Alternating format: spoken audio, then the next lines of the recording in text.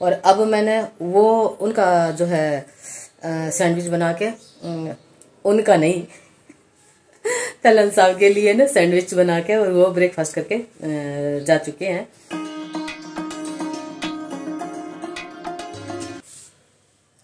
Hi guys very good morning कैसे हैं आप लोग? होप आप सब बहुत अच्छे होंगे। आप अपने कामों में व्यस्त भी होंगे। राधे राधे। और अभी टाइम बता देती हूँ। ग्यारह बजकर पाँच मिनट हो गए हैं। और झाड़ू पोछा, नहाना धोना और पूजा पाठ वो सारा हो चुका है।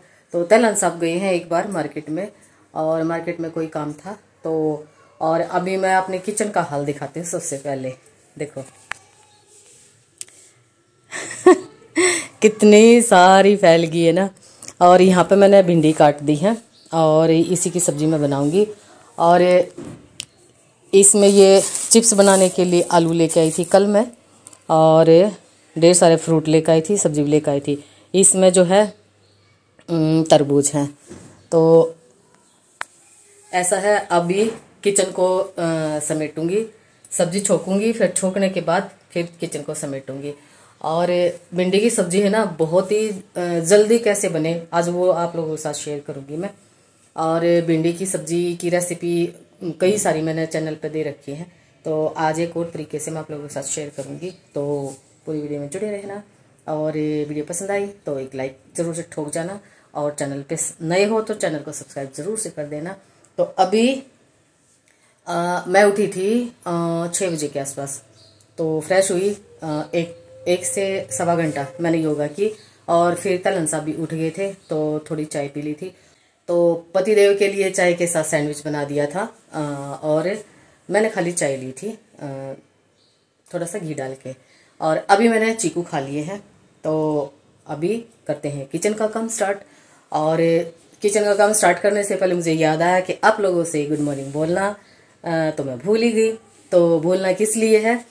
तो अभी गुड मॉर्निंग आप लोगों के साथ और शुरू होता है मेरा किचन का काम। तो सबसे पहले करते हैं गैस को ऑन और इसमें डालते हैं मस्टर्ड ऑयल और एक बड़ा चम्मच इसमें मस्टर्ड ऑयल डालूँगी। मिर्च डाल दिया है। अब ये जो भिंडी है, ये एक पाव भिंडी है। तो ये बनाऊँगी क्योंकि खाने वाले बेसिकली दो ही बंदे हैं। तो और इसमें जो है मैंने प्याज और लहसुन काट के और इसको बारीक बारीक चॉप करूँगी। और इसी के अंदर मैं हरी मिर्च डाल दूँगी। तो ये मैं कर लेती हूँ। तो अभी जो है ऑयल है, वो गर्म हो गया है। तो इस बार डाल देंगे भिंडी।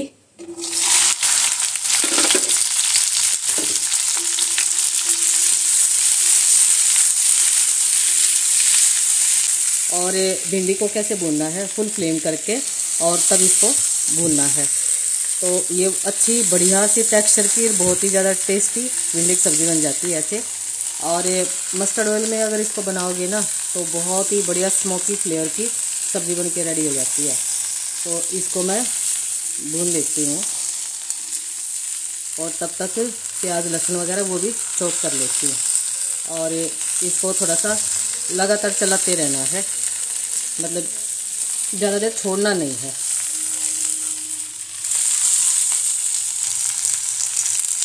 अब ये जो है आधी भून चुकी है। तो थोड़ी सी सॉफ्ट हो गई है। अब यहाँ पर गैस को सिम कर देंगे और इसी के अंदर ये जो प्याज और लहसुन बारीक चौक किए हैं, वो डाल देंगे।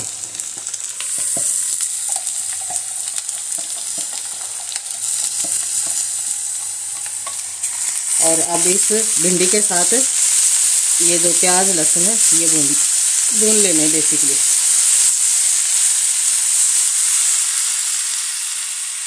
और अब इसमें टमाटर और हरी मिर्च चॉप कर लेती हूँ मैं।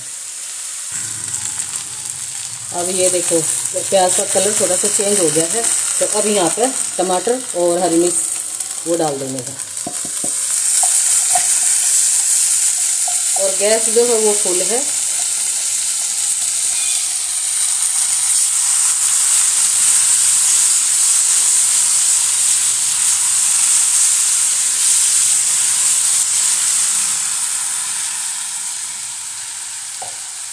आप अपने स्पाइसेस डाल देने। हैं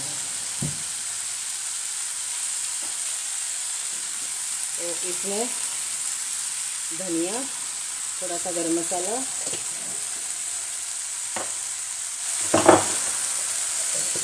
हल्दी पाउडर।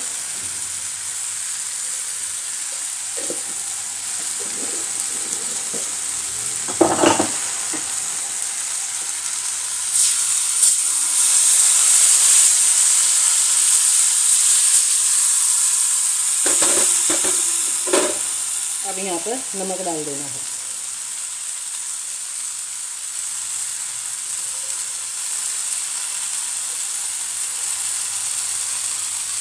और गैस को सिम कर देना है।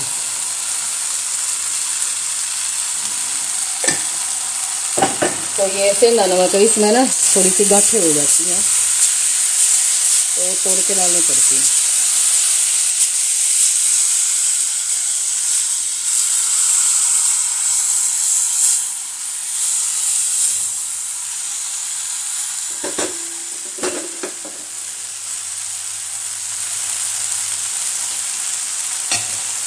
और अब इसको दो मिनट, दो से तीन मिनट बिल्कुल सी आँच पे ढक के छोड़ देना है। तो आगे मैं दिखाती हूँ। अब सब्ज़ी को देखते हैं। अब ये देखो, साइड से ना तेल भी रिलीज़ कर दिया है इसमें। और ये जो सब्ज़ी है ना, एक मतलब ग्रेवी जैसे होती है ना लिस लिसी सी जो जैसी सब्ज़ी होती है, वो सब्ज़ी बन के रेडी हो जाती है। तो कई बार किसी को ना जैसे भिंडी ड्राई पसंद नहीं है तो आप ऐसे बना सकते हो। ये देखो। ये सब्ज़ी होगी बिल्कुल रेडी तो गैस को कर देंगे बंद और इसको ढक के छोड़ देंगे।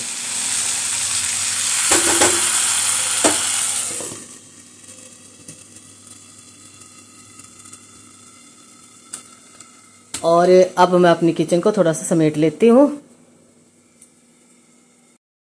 ये लो जी हो गया है सारा किचन का भी काम ये देखो। और ये जो छिलके हैं ये सारे प्लांट्स में डाल दूँगी। और यहाँ पे बन गई है ये सब्ज़ी ये देखो। तो जी अभी मैं देखो थोड़ी सी तैयार हो ली और मैं कहाँ जा रही हूँ। मेरी आ, फ्रेंड है उसकी सासू माँ एक्सपायर हो गई थी। तो आज उसकी तेरहवीं और सत्तरवीं छमाई वगैरह सब कुछ इकट्ठा कर रहे हैं। तो वाटिका में प्रोग्राम कर रखा है। तो उसके वहाँ जा नहीं पाई थी क्योंकि मुझे पता नहीं चल पाया था। तो मेरे को परसों रात को पता चला था। तो कल नंद के वहाँ चले गए थे। तो फिर कल रात को उसका फ़ोन भी आया था। तो कहते कि आप आ जाना। मैंने कहा, ठीक है। तो अभी ऐसा है कि मैं जाऊँगी वहाँ पे। और देवरानी को फ़ोन करके बोला था। मैं कहा, चल, आप तो मेरे साथ चल। तो कहती है, ठीक है दीदी। तो अभी वो आ रही है और तलन साहब जो है, वो ऑफ़िस चले गए हैं। तो अब उसी का वेट कर रही हूँ मैं। तो आप लोगों से आके मिलती हूँ। और खाना बना तलन साहब के लिए बना दिया था वो खा के चले गए हैं। और मेरा खाना फ्रेंड के घर पे है। तो वहाँ चलते हैं। जी, मैं अभी आ गई हूँ और तीन बज गए हैं। देखो किस टाइम गई थी मैं। डेढ़ बजे गई थी, डेढ़ घंटा लग गया। और यहाँ मैं मशीन लगा के गई थी। अब ये होगी है, और ये कपड़े बाहर फैला देती हूँ मैं। और बेटी की कॉल आई थी बीच में, मैंने कहा घर आके बात करती हूँ। तो अभी पहले कपड़े फैला देती हूँ बाहर, और बाहर मैंने पापड़ सुखा रखे थे, वो आज बिल्कुल सूख गए हैं तो वो उठा के लेके आऊँगी। तो और कपड़े चेंज करूँगी, और फिर उसके बाद बेटी से बात करूँगी। तो अभी मैं कर लेती हूँ। तो जी, ये मेरा खाना बन के हो गया है रेडी और ये भिंडी की सब्ज़ी है, और सैलड में प्याज है। हरी मिर्च और ये मल्टीग्रेन रोटी है। तो ये मैं खा लेती हूँ और टाइम मैं बता देती हूँ, आठ बजकर दस मिनट हो गए और पूजा वगैरह भी होगी है तो तैलन साहब की तो नाइट शिफ्ट है और तो मैं ये अभी भूख लग आई थी तो इसलिए मैंने ये रोटी बना ली है। बेसिकली रोटी खाने का मन नहीं था, सोच रही थी कुछ सैलड वगैरह काट लूँ, फिर ये सोचा कि आटा भी भिगो के रखा हुआ है तो मैं रोटी ही बना लेती हूँ। तो मैं इसको खा लेती हूँ, फिर मैं किचन का समेटूँगी। दो चार बर्तन है, वो मैं समेटूँगी। और साथ साथ मैं देखूँगी टीवी। तो टीवी चला लिया है तो अब ये मैं खा लेती हूँ। तो जी, अभी टाइम हो गया है पौने नौ, और काम मेरा कंप्लीट हो गया है खाना पीना हो गया है। किचन समेट दी है, और अपना जो डेली स्किन केयर रूटीन है, वो भी मैं कर चुकी हूँ। तो अभी मैं करूँगी एडिटिंग और आपसे लेती हूँ मैं विदा और इस व्लॉग का यहीं पे मैं एंड करती हूँ। मिलूँगी आप लोगों से एक नई ऊर्जा के साथ, एक नए कंटेंट के साथ और होंगी आप लोगों के सामने रूबरू नेक्स्ट मॉर्निंग तब तक अपना और अपने परिवार का ढेर सारा ख्याल रखना है। स्वस्थ, नहीं करेक्शन हेल्दी बनाना है हेल्दी खाना है हेल्दी ही रहना है। Children take care bye bye